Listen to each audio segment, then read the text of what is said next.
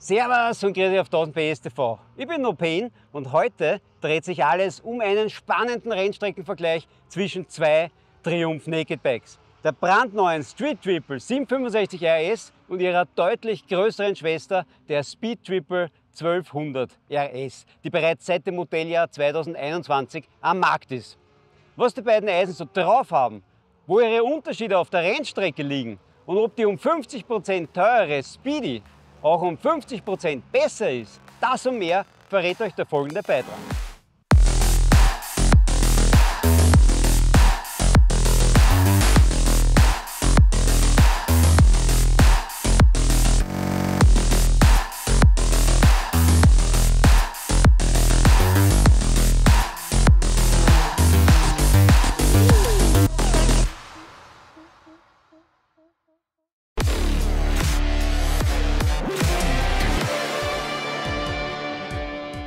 Herzlich willkommen, liebe 1000 PS Zuschauer. Ich melde mich heute von den 1000 PS Track Days am Slowakiering mit einem interessanten Naked Bike Vergleich, bei dem wir die brandneue Triumph Street Triple 765 RS gegen das aktuelle Naked Topmodell von Triumph gegen die Speed Triple 1200 RS antreten ließen. An dieser Stelle vielleicht gleich der Hinweis, dass wir hier im Ring bereits einen weiteren Beitrag produziert haben, bei dem sich die Street Triple RS gegen die günstigere Triple R schlagen musste. Das Video dazu ist bereits online auf 1000 PS und wir haben es euch unterhalb verlinkt. Unbedingt anschauen. Während der Streety-Vergleich zwischen der RS und der R irgendwie auf der Hand lag, tue ich mir persönlich mit dem Duell zwischen der Streety und der Speedy ein bisschen schwerer. Denn abgesehen vom Hersteller Triumph, der Bauart Naked Bike und dem Motorkonzept Dreizylinder haben wir es mit zwei vollkommen unterschiedlichen Bikes zu tun, die auch mit ihrem Preis in einer völlig anderen Liga spielen. Denn die Street Triple 765 RS, die kostet 12.295 Euro in Deutschland und die Speedy kostet mit 18.245 Euro um knapp 50 Prozent mehr. Das gilt es natürlich beim Vergleich und auch bei unserer Bewertung zu bedenken. Die Frage des Tages lautet also, wo liegen auf der Rennstrecke die Performanceunterschiede zwischen der Streety und der Speedy sowohl aus der Sicht eines Hobbypiloten als auch aus der Sicht eines waschechten Profis und lassen sich mit der deutlich teureren Hardware auch entsprechend schnellere Rundenzeiten in den Asphalt brennen. Und damit wir euch trotz meiner mangelnden Rennstreckenerfahrung auch mit diesem Video einen echten Mehrwert bieten können, haben wir keinen geringeren als den Klaus Grammer als Co-Moderator engagiert. Er wird euch dank seiner langjährigen Erfahrung fundierte und praxisnahe Eindrücke ermitteln. Servus, ermitteln natürlich. Hallo, grüß dich. Klaus, danke fürs Kommen. Bitte. Und danke, dass du dir Zeit genommen hast und mich da unterstützt. Ja, bevor wir uns da jetzt aber in den technischen Daten und unseren Fahreindrücken verlieren, sag mal bitte, Klaus, wie geht's da und wie hat dir der Tag mit den beiden Triumph-Bikes gefallen? Ja, wie gesagt, sonniger Tag am Slowakei, zwei super Motorräder und da kann ich viel daneben gehen. Also es ist, war perfekt, für mich perfekt. Ja, ich für meinen Teil habe den heutigen Tag natürlich auch sehr genossen wenngleich sich meine persönliche Erwartung keineswegs erfüllt hat. Aber dazu gleich mehr. Was das Motorkonzept betrifft, so besitzt die Streety den vom Rennsport inspirierten, weiterentwickelten Moto 2 Dreizylinder mit 765 Kubikzentimeter und die Speedy basiert auf Triumphs absolutem Dampfhammer, dem Dreizylinder mit 1160 Kubikzentimetern.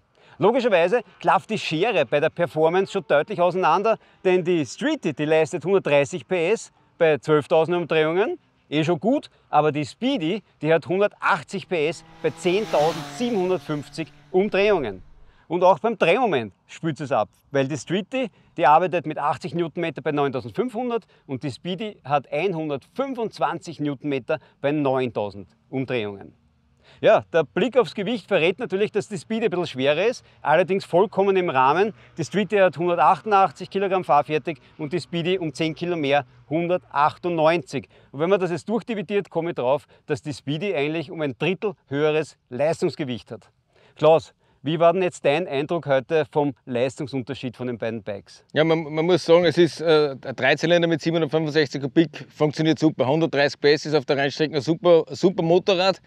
Äh, aber natürlich, es, es ist eklatant spürbar, der mehr Hubraum, mehr Drehmoment, mehr Leistung. Also ganz klar, die technischen Daten sprechen da für sich und genauso fühlt sie sich auf der Rennstrecke an. Also für mich ist dann ganz klar, die 1200er ist auf der Rennstrecke natürlich schon äh, ein Vorteil. Ja. Und wie schaut es aus bei der Übersetzung von den beiden Bikes bzw. mit der Endgeschwindigkeit? Beide Motorräder sind sehr, sehr kurz übersetzt. Das heißt, da am Slowakering mit der wirklich langen Start-Zielgeraden äh, ist, ist, ist, sind beide eigentlich an ihr Limit gekommen und insbesondere bei der Speed Triple ist mir aufgefallen, immer so bei 257 km/h hat irgendwas da abgeregelt. Entweder ist das elektronisch, oder von der Drehzahl oder von der Geschwindigkeit. Man ist, man ist noch nicht ganz am Ende der Geraden, man ist noch nicht am Bremspunkt und spürt, obwohl man Vollgas ist, jetzt wird es auf einmal langsamer. Also irgendwas ist da, was da abregelt. Ich glaube aber fast, dass das eine geschwindigkeitsrelevante Angelegenheit ist, weil die Drehzahl ist ja auf einem anderen Gang auch, beim vierten, dritten, vierten Gang auch, auch genauso hoch und da habe ich das nie gespürt. Also, aber wie, gesagt, 260 km/h reicht eigentlich eher für ein Naked Bike. Ja, für dich auf jeden Fall. Ja, da bin ich leider nicht ganz hingekommen. Ich habe es eh schon kurz erwähnt. Der Klaus ist ein Profi, ich bin ein Hobbyfahrer, bin auch nicht so oft am Slowakering gefahren. Und nachdem die gefühlte Geschwindigkeit immer ein bisschen trügerisch ist, wollte ich heute in Bezug auf meine Einschätzung nichts dem Zufall überlassen und haben mir deshalb dieses Gerät besorgt, die Racebox Mini S. Ein 100 Gramm schwerer, höchst präziser Laptimer mit einem GPS-System, mit Beschleunigungsmesser, mit einem Gyrosensor und der misst laut Hersteller mit einer Abtastrate von 25 Hertz auf 10 cm genau, speichert dann die Daten direkt am Gerät, also ihr braucht da kein zusätzliches Gerät oder keine Handyverbindung, Bluetooth-Verbindung. Er hat über 2000 Rennstrecken gespeichert und im Anschluss könnt ihr euch dann die Daten am Handy anschauen, was ich dann auch gemacht habe. Ja. Also da könnt ihr dann Sachen sehen wie die Rundzeit, wie die Highspeed, Schräglagen, Winkel, Linienwahl, G-Kräfte, alles da. Und das Resultat war ernüchternd. Denn das liegt aber in erster Linie an mir und nicht an der Racebox und auch nicht an der Speed Triple.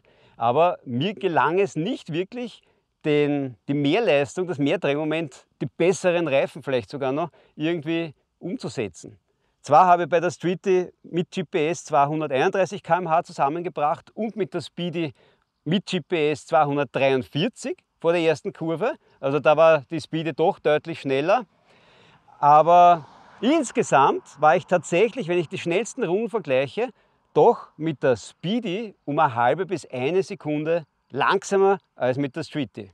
Aber gut, später dazu mehr. Machen wir kurz weiter mit den technischen Details, mit dem Chassis, da gibt es auch schon die ersten großen Unterschiede, weil die Streety, die hat den Doppelbrückenrahmen aus Alu mit einem zweiteiligen Heckrahmen und einer Zweiarmschwinge und die Speed Triple, die hat unverkennbar ein Alu-Doppelrohrrahmen mit verschraubtem Heckrahmen und einer Einarmschwinge. Ja, der Lenker, die Lenker sind ident, beide sehr breit, 792 mm, angenehm. Die Sitzhöhe ist auch ähnlich. Auf der Streety sitzt man auf 836 mm, auf der Speedy mit 830, also das ist fast gleich. Deutliche Unterschiede gibt es aber dann bei der Geometrie, weil die Streety hat am Papier einen steileren Lenkkopfwinkel, einen kürzeren Radstand und erheblich kürzeren Nachlauf. Ja, und wenn man dann das miteinander vergleicht, sollte man eigentlich sagen, die Streety ist deutlich agiler. Klaus, aber was am Papier steht, muss noch lange nicht so in der Realität sein. Wie ist dir das jetzt aufgefallen bei den beiden Bikes? Nein, ich glaube tatsächlich, dass das so ist. Ja. Die, die, die, da, da, drückt das Prospekt nicht. Äh, die kleine Triumph ist agiler.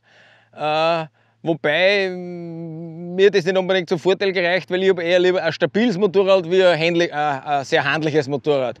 Und vom Handling her ist natürlich auch so, oder vom Kurvenfahren insgesamt, die Speed Triple hat die besseren Reifen montiert. Ja?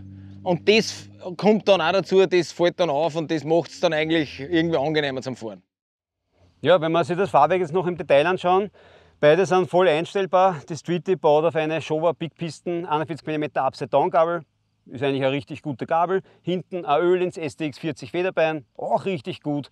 Die Speedy ist aber da überall ein bisschen besser. Die hat vorne eine beschichtete Öhlins 43 mm Upside-Down-Gabel und hinten ein Öhlins TTX 36 Doppelrohr Federbein. Bei den Bremsen sind es beide nahe beieinander. Beide haben die leimenden Brembos Dilemma 4 Kolben Radial Monoblock Bremssättel. Nur hat die Speedy ein bisschen größere Scheiben, 320 mm Doppelscheibe vorne gegenüber 310 hinten. Und hinten haben beide eine 220er Scheibe, allerdings hat die Speedy, was dem Klaus entgegenkommt, der mitbremst, einen, eine Doppelkolben Brembo Bremse, Bremszange hinten.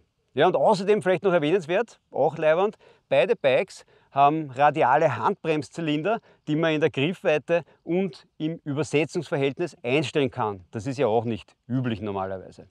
Ja, und bei den Reifen zum Abschluss, da schenken sie sich nichts. Beide haben großartige Reifen äh, montiert. Bei der Street haben wir den Conti Sportdeck 4, einen Hypersportreifen mit 180er Reifen hinten und die Speedy hat sogar den Pirelli Diablo Supercorsa V3 Reifen mit einer 190er Walze. Klaus, beim Fahrwerk und bei der Bremse und beim Reifen hat die Speedy wieder mal die Nase vorn. Wie hast du jetzt die Unterschiede in der Praxis wahrgenommen und was hast du daraus machen können, wenn du jetzt Nein, deine Performance hernimmst? Ich glaube schon, also, dass der Unterschied in, im, im Fahrwerk, äh, dass man den kennt. Speziell beim Anbremsen. Die Bremsen sind bei beiden Motorrädern sehr gut. Also man hat äh, wirklich das Gefühl, man kann brachialst verzögern.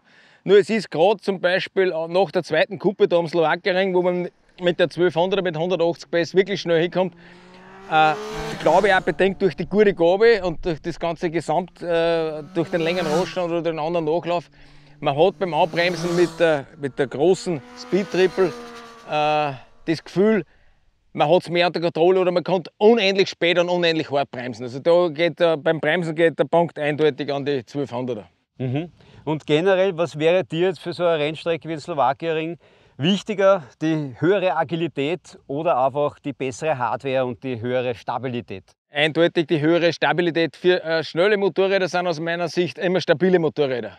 Und wenn ich natürlich 180 PS habe und wirklich schnell fahren will, dann muss das Motorrad stabil sein. Natürlich auch handlich. Ja, aber das Handling kann ich als Fahrer ein bisschen mit, mit physischem Einsatz, mit Körperkraft oder mit Fahrkönnen, kann ich das Handling ein bisschen beeinflussen aber die Stabilität schwieriger. Also eindeutig eher ein stabiles Motorrad mit mehr Leistung ist, glaube ich, besser.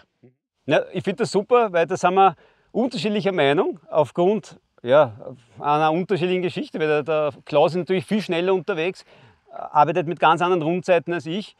Wenn ich jetzt meine Fahreindrücke noch beisteuern darf, ich schätze bei der Street sehr die hohe Agilität und die direkte Lenkung und den, und das, den Druck am Vorderrad. Ich habe mich da sehr wohl drauf gefühlt. Bei der Speedy fand ich überraschend, dass sie trotz des großen Motors, dass die Fußrasten sehr schmal befestigt sind und auch die Schräglage ist absolut rennstreckentauglich. Ja, und ja, die Stabilität ist natürlich an manchen Strecken, Streckenabschnitten mir auch entgegengekommen und der bessere gerade Auslauf. Vom Sitzen her waren beide okay, Kniewinkel ist super, die Haltung ist sportlich, aber ich denke, das sollte auch auf längeren Strecken kein Problem machen. Und beim Hin- und Hertauschen ist mir als Laie, da sind mir halt die Unterschiede in puncto Agilität und Vorderradkontrolle halt wirklich deutlich aufgefallen. Und insgesamt habe ich mich jetzt als Hobbyfahrer auf der Streety überraschenderweise vielleicht für den Klaus und auch für mich wohler gefühlt. Und bei der anschließenden Auswertung von der Racebox habe ich dann tatsächlich auch herauslesen können, dass ich, obwohl ich mit der Speedy auf der Startzielgeraden natürlich und auf anderen schnellen Abschnitten deutlich schneller war, dass ich diesen Vorsprung einfach nicht ins Ziel retten konnte. Der ist dann in den ganzen Kurven, habe ich immer wieder ein bisschen was verloren, weil wahrscheinlich die kleinere Streety für mein Leistungslevel einfach mehr Vertrauen vermittelt hat. Und ich habe eher das Gefühl gehabt, dass ich da der Pilot bin, während auf der Speedy, da war ich eher der Passagier. Ja, unterm Strich war es mir einfach nicht möglich, diese Leistungs- und Drehmomentvorteile nur ansatzweise in den Asphalt zu bringen. Also es ist vielleicht auch nicht immer sinnvoll, dass man nur auf die Daten schaut, weil es muss halt irgendwie zu einem, zu einem passen. Ja, bevor wir jetzt zum Fazit unseres Vergleichs kommen, schauen wir aber noch ganz kurz in die elektronische Ausstattung rein, weil da sind beide wirklich top ausgestattet und auf gleicher Augenhöhe, muss man sagen. Beide haben Kurven-ABS und abschaltbare Kurventraktionskontrolle mit einer IMU, beide haben Willi-Kontrolle, beide haben die fünf Fahrmodi, Regenstraße, Sport, Track und Rider. Und beide haben ein richtig leibendes 5 Zoll TFT-Display und ja, serienmäßigen Blipper, Anti-Hopping-Kupplung, volle LED-Beleuchtung für die Landstraße. Also es fehlt fast nichts mehr. Die Speedy, Entschuldige? Ein, weil wir schon bei der Elektronik ja. sind, ein Einwurf, äh, weil du sagst, du hast die Leistung nicht nutzen können. Wer in Slowakien kennt, da gibt es den Hügel Nummer 4, also den letzten Hügel. Da kommt man aus einer, so einer Schikane aus oder aus einer Kurvenkombination und kann mit der 1200er Speed Triple aufgrund der Willi-Kontrolle wirklich mit Vollgas da drüber fahren und das, das Vorderrad hebt immer so 5, 10 cm ab. Also das ist was, was schon äh, lässig ist. und man hat nie das Gefühl, äh, das überfordert dann, sondern man bleibt einfach voll drauf, einen Gang nach dem anderen und fährt schön auf dem Hinterrad über den ganzen Hügel drüber. Also das ist schon die Qualität von einer, von einer Elektronik auch, die, die sich dort wirklich manifestiert. Ja. Ja gut, das Problem habe ich nicht gehabt, aber ich muss ansagen, beide haben ja Wheelie-Kontrolle. Also mein, da ist halt dann die Leistung. Ja, aber, da, aber da merkst du es dann. Ja? Ja, Da, ja. da, bei, bei, bei 180 PS über den Hügel drüber, da wird es eben dann relevant, ob ich eine gescheite Elektronik habe oder nicht. Und das war, hat super funktioniert. Ja? Ja, ja. Ansonsten haben beide eigentlich das gleiche Elektronikpaket drin und die Speed Triple hat zusätzlich noch einen Tempomaten. Ah, vielleicht war der Auftritt bei mir. Das könnte sein. ja. Und Keyless ist sie auch. Äh, ja, ja, ist super, wenn man einen Schlüssel hat, ist, ist Arsch, wenn man, wenn man nicht mit hat. Ja, du, mit welchen Einstellungen bist du jetzt bei beiden Bikes heute gefahren? Elektronik? äh, Dreck. Ich habe immer geschaut, dass ich auf Dreck bin, weil sonst nämlich, man sieht unten, glaube ich, äh, rechts unten immer dieses Traktionskontrolle-Symbol leuchten, wenn man, wenn man diese einstellt. Es, es leicht eh auch auf der Dreck-Einstellung auch sehr oft und blinkt. Aber äh, ich würde auf jeden Fall, das wird einen Grund haben, warum die Einstellung Dreck hast, wahrscheinlich weil es für den Dreck ist. Nicht? Könnte das sein. Könnte das sein, ja. Ist und, dir- und, und es funktioniert wirklich unauffällig. Also es, es fängt zum Blinken an, es ist leicht, aber man hat nie das Gefühl, es wird irgendwas instabil oder, oder so. Also es funktioniert wirklich super, bin recht zufrieden. Gibt es bei der Speedy irgendwas, was dir jetzt noch abgeht an Ausstattung? Ja, eins vielleicht ist mir aufgefallen, ne? das ist jetzt äh, mit Ölens bestückt, super Gabel, super Federbein. Möglicherweise wäre im Jahr 2023 äh, eine hydraulische Federvorspannungsverstellung besser wie eine mit, mit Kronemutter. Ne? Das, das war mir vielleicht aufgefallen, weil da kann man sich ein bisschen leichter tun beim Adaptieren. Natürlich, man kommt eh leichter zu, aber, aber das mit Hackenschlüssel oder mit Schraubenzieher, das ist eigentlich schon äh, das vorige Jahrtausend gewesen. Also das gehört, genau, das vielleicht bei einem, bei einem Top-Modell Mo- Modell um 18.000 Euro, war vielleicht ein kleiner hydraulischer Versteller auch noch drinnen gewesen. Das war ja. vielleicht der. Vielleicht schaut ja der Produktmanager von Triumph zu und nimmt sich das zu Herzen. Kommen wir jetzt zum abschließenden Fazit. Klaus, ich brauche nicht fragen, aber ich frage dich trotzdem Streety oder, oder Speedy. Nein, ich bin zwar grundsätzlich auch immer gern für kleine Motoren, aber in dem Fall ist es für mich eindeutig, äh, ich habe mich mit der Speed Triple, die hat mir eindeutig mehr Spaß gemacht. Okay, und der Preis, das würdest du in Kauf nehmen, 50% mehr. Naja, man muss natürlich 50% mehr, ist jetzt kein Pappenstil, aber man muss wissen, was man will. Auf der, auf der Straße ist so oder so wurscht. Äh, keine Ahnung, das, das überlasse ich dem jeweiligen Portemonnaie. Das, muss, das muss der Finanzminister jeweils selbst entscheiden. Äh, aber wie gesagt, mehr Spaß habe ich persönlich empfunden mit der 1200. Das war eher mein Motorrad. Okay. Ja, mein persönliches Fazit, das fällt für mich persönlich etwas überraschend, aber dann doch relativ eindeutig aus. Beide Bikes sind großartig ausgestattet und lassen sich sowohl auf der Rennstrecke und ganz sicher auch auf der Landstraße artgerecht bewegen und machen einfach viel Spaß. Ich persönlich würde aber für regelmäßige Trackday-Besuche und sportliche Landstraßentouren ohne Reiseambitionen eindeutig die Street Triple 765 RS bevorzugen, da sie für einen Hobbyfahrer wie mich einfach ja, auch am schnellen Slowakering super funktioniert hat und noch so viel Potenzial bietet, dass ich mir da jetzt über 50 PS noch mehr noch keine Gedanken machen muss. Sobald es für mich dann aber mehr in Richtung Touren geht oder in Reise, vielleicht sogar mit Beifahrer oder mit Gepäck, dann ist dann doch eindeutig die Speedy zu präferieren. Die hat einfach die Power, Mit, mit Beifahrer, wo auch immer der dann Platz hat. Nicht? geht der da gar nicht drauf? Oh ja. Ah doch. Ja gut, muss man einen kleinen Beifahrer suchen. Ja, Einen kleinen leichten. Beifahrer, einen zarten Beifahrer. Ja, also sie hat auf jeden Fall eine Menge Power, sie hat Laufruhe, ist, ist insgesamt sicher das erwachsenere Gerät. Aber was die Rennstrecke betrifft, so behaupte ich jetzt einmal, dass niemand eine Speedy als reines Renn, also nicht die 1200 als reines Rennstreckengerät nehmen würde. Einfach, ja, ist einfach viel zu schade. Für gelegentliche Einsätze spricht Passt, aber, ja, sind wir einig, hin und nichts her, dagegen. genau. So, und das war's schon wieder.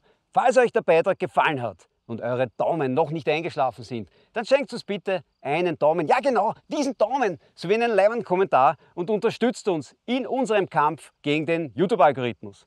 Und damit, damit ihr zukünftig auch keine 1000 PS Beiträge mehr verpasst, abonniert doch bitte unseren YouTube-Kanal und drückt auf die Glocke. Klaus, ich sage vielen Dank Bitte. für deine Danke, Teilnahme, für deine Mithilfe.